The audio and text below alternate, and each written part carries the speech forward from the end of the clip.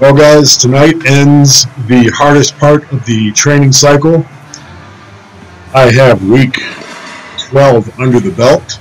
Week 13, week 14 are next. Those are back down weeks where now I let the fatigue seriously diminish. I'll not be lifting uh, anything heavy anymore after a heavy deadlift on Sunday, and that's still up in the air, but everything else, the weight is coming way down. The assistance work is coming way down. That way, I can uh, focus on getting lots of rest, dialing in my diet to an absolute T until I get to the perfect weight within my weight class so I don't lose any strength, but so that my leverages, so that my body moves uh, and performs doing this training protocol justice. So thank you again, Coach John. A wonderful, awesome, super spectacular training cycle comes to an end with 345 for 5x5 on the safety squat bar.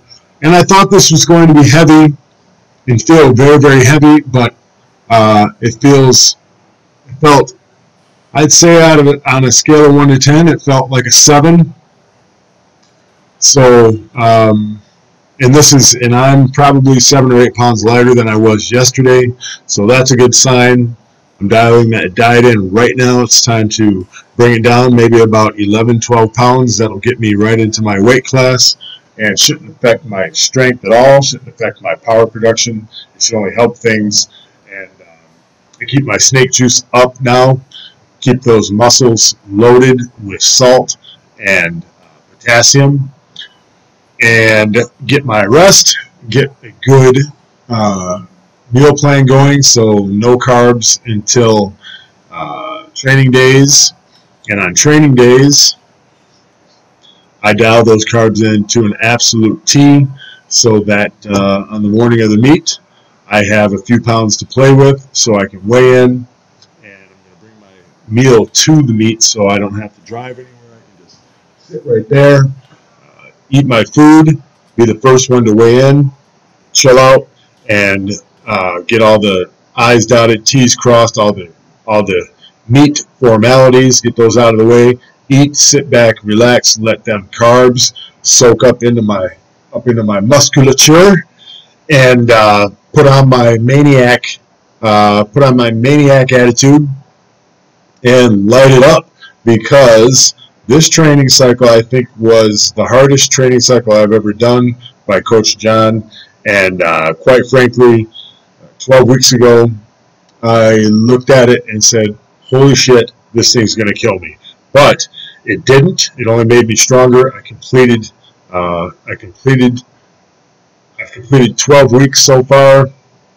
I completed the highest, I completed, I completed to this point the highest peak, meaning the highest weight I'm going to pull, except maybe on Sunday I might have a deadlift pull for a triple that's 500 pounds.